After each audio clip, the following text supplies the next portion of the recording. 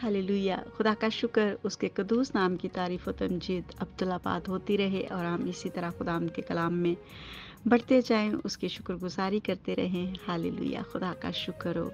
आइए बड़े शुक्रगुजार दिलों के साथ अपने खुदावंद के कलाम में से सीखते हैं, जो खुदा बाप ने आज का खूबसूरत हवाला हमें दिया। कलाम तो पूरा ही खूबसूरत है और दिल को इत्मीनान और शांति देता है, तसल्ली देता है। लेकिन खुदामंद कभी कभी हमसे कुछ ख़ास बात करता है तो आइए आज हम खुदा के कलाम में से सीखें। मेरे साथ देखिएगा पुराने अहदनामा में से ये साया नबी का सहीफ़ा। उसका पांचवा बाब उसकी पहली आयत से लेके सातवीं आयत तक। कलाम खुदा में कुछ इस तरह से मरकूम है। अब मैं अपने महबूब के लिए, अपने महबूब का एक गीत। उसके पाकिस्तान की बाबत गाऊँगा। मेरे महबूब का पाकिस्तान एक जरखेज पहाड़ पर था। और उसने उसे खोदा और उससे पत्थर निकाल, फेंके और अच्छी से अच्छी ताकें उसमें लगाईं और उसमें बुर्ज बनाया और एक कोलू भी उसमें तराशा और इंतज़ार किया कि उसमें अच्छे अंगूर लगे। लेकिन उसमें जंगली अंगूर लगे। अब यरूशलेम के बाशिंदों और यहूदा के लोगों, मेरे और मेरे पाकिस्तान में तुम ही इंसाफ करो। कि मैं अपने पाकिस्तान के लिए और क्या कर सकता था जो मैंने ना किया? और अब जो मैंने अच्छे अंगूरों की उम्मीद की तो इसमें जंगली अंगूर क्यों लगे? मैं तुमको बताता हूँ कि अब मैं अपने पाकिस्तान से क्या करूँगा, मैं उसकी बाढ़ गिरा दूँगा और वो चरागाह होगा, उसका हाथा तोड़ डालूँगा और वो पामाल किया जाएगा। और मैं उसे बिल्कुल वीरान कर दूँगा। वो ना छांटा जाएगा, ना निराया जाएगा। उसमें ऊँट, कटारे और कांटे उगेंगे और मैं बादलों को हुक्म करूँगा कि उस पर में ना बरसाएँ। सुरबुल फाज का पाकिस्तान बनी इसराइल का घराना है और बनी यहूदा उसका खुशनुमा पौधा है। उसने इंसाफ का इंतज़ार किया, पर खून रेजी देखी। वो दाद का मुंतजर रहा, पर फरियाद सुनी। खुदा के पाकलाम के पढ़े। और सुने जाने पर खुदावंद का शुक्र हो। आमीन। मैं जब इस हवाले पर गौर कर रही थी तो खुदावंद की मायूसी हमें यहाँ नज़र आती है। वो कहता है कि इसराइल तो मेरा प्यारा, मैंने उसे एक पाकिस्तान की मानद लगाया। और ये ये ताकें जो थी उसमें, अंगूर की ताकें, ये वो कहाँ से लेके आया? मेरे साथ देखिएगा, ज़बूर की किताब, उसका अस्सी अस्सी ज़बूर और उसकी हम पंद्रहवीं आयत से देख लेते हैं। और उस पौधा की भी जिसे तेरे दाने हाथ ने लगाया और उसकी शाख की भी जिसे तूने अपने लिए मज़बूत किया, ये आग से जली हुई है, ये कटी पड़ी है। मेरे अजीजों, वो शाख जिसे खुदा खुदा ने बड़े प्यार से लगाया, वो कटी पड़ी है। वो तो इसे बड़े प्यार से लाया था, बड़े प्यार से लगाने के लिए। लेकिन बनी इसराइल ने क्या किया? आठवीं आयत देख लेते हैं। तू मिस्र से एक ताक लाया। तूने कौमों को खारिज करके उसे लगाया। तूने उसके लिए जगह तैयार की। उसने गहरी जड़ पकड़ी और ज़मीन को भर दिया। पहाड़ उसके साया में छुप गए। और उसकी डालियाँ खुदा के देवदार की मानिंद थी।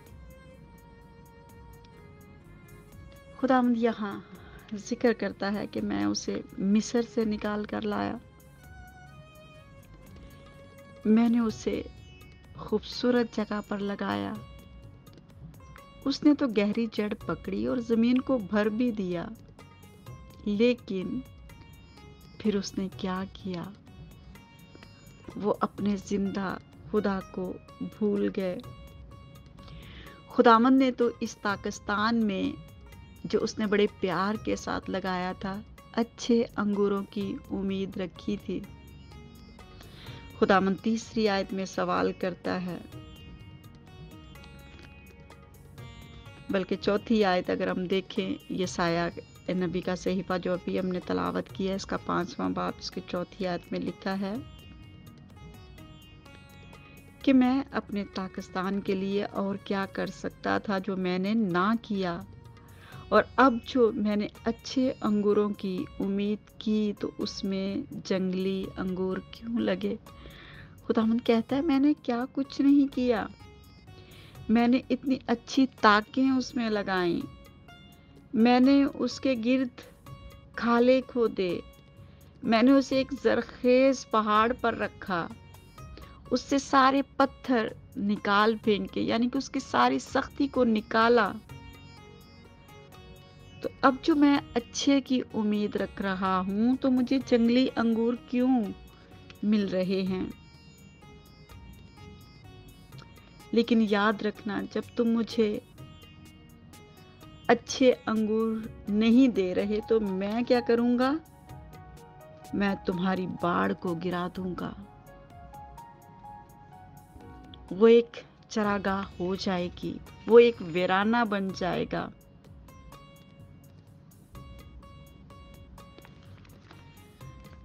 और मैं इसे दुनिया में तितर बितर कर दूँगा। इसमें ऊँट कटारे और कांटे उगेंगे और मैं बादलों को हुक्म करूँगा कि इस पर मे ना बरसाएँ। मे यानी कि बारिश को हम सब समझते हैं कि रहमत की अलामत है। खुदाम कहता है कि मैं अपनी रहमत को तुम पर से उठा लूँगा। मैं तो इंतज़ार ही करता रहा कि तुम इंसाफ करोगे, लेकिन मैंने तो खून रेजी देखी। मैंने तुम में कोई इंसाफ नहीं देखा। तो बताओ फिर मैं क्या तुम्हारे साथ करूँ? मेरे अगर हम मत्ती की अंजील देख लें, उसका इक्कीसवां बाप तो उसकी तैंतीसवीं आयत में कुछ इस तरह से लिखा है। एक और तमसील सुनो, एक घर का मालिक था, जिसने पाकिस्तान लगाया और उसके चारों तरफ़ हाथा खो, घेरा और उसके, उसमें हौस खोदा और बुर्ज बनाया और उसे बागबानों को ठेके पर देकर प्रदेश चला गया। और जब फल का मौसम करीब आया तो उसने अपने नौकरों को, बागबानों के पास अपना फल लेने को भेजा। और बागबानों ने उसके नौकरों को पकड़कर किसी को पीटा और किसी को कत्ल किया और किसी को संसार किया। फिर उसने और नौकरों को भेजा जो पहलों से ज़्यादा थे और उन्होंने उनके साथ भी वही सलूक किया। आखिर उसने अपने बेटे को उनके पास ये कहकर भेजा कि वो मेरे बेटे का तो लिहाज करेंगे। जब बागबानों ने बेटे को देखा तो आपस में कहा, यही वारिस है, आओ उसे कत्ल करके इसकी मीरास पर कब्जा कर लें। और उसे पकड़कर पाकिस्तान से बाहर निकाला और कत्ल कर दिया। बस जब पाकिस्तान का मालिक आएगा तो उन बागबानों के साथ क्या करेगा? आगे सवालिया निशान। आज इस तमसील पर ज़रा हम गौर करें। खुदामंद ने एक ताक लगाई, एक ताकिस्तान लगाया। और वो ताकिस्तान कौन था? बनी इसराइल। याकूब की औलाद इजहाक की औलाद, अब्राहम की औलाद। खुदामंद ने उन्हें अच्छी जगह पे रखा। लेकिन उन्होंने क्या किया कि वो खुद वहाँ के ठेकेदार बन गए। खुदा ने अपने नबियों के ज़रिया से तरा बतारा और हिस्सा ब हिस्सा कलाम किया। लेकिन लोग अपनी रविशों से बाज ना आए। उन्होंने नबियों को मारा, कूटा, उन्हें जलील किया, उनकी तजलील की, पर खुदामंद की तरफ़ मुड़े नहीं। आखिर वक्त में खुदा बाप ने अपने बेटे को भेजा। खुदा खुदामंद ने सोचा, ये उसका तो लिहाज करेंगे। लेकिन उन्होंने तो उसके बेटे का भी लिहाज ना किया, बल्कि उसे मारा, उसे पाकिस्तान से बाहर निकाल दिया और उसे सूली चढ़ा दिया। आज खुदा मन खुदा कहता है वो हमसे भी यही सवाल करता है कि तुम ही इंसाफ करो कि मैं तुम्हारे साथ क्या करूँ। अब खुद ही सोच लो कि मुझे तुम्हारे साथ क्या करना चाहिए। मेरे सो क्या हम भी तो ऐसे लोगों में शामिल नहीं जो खुदावंद को तंग करते हैं, जो खुदा के बेटे को रुसवा करते हैं। आज ज़रूरत है कि हम इस बात पर गौर करें। आमीन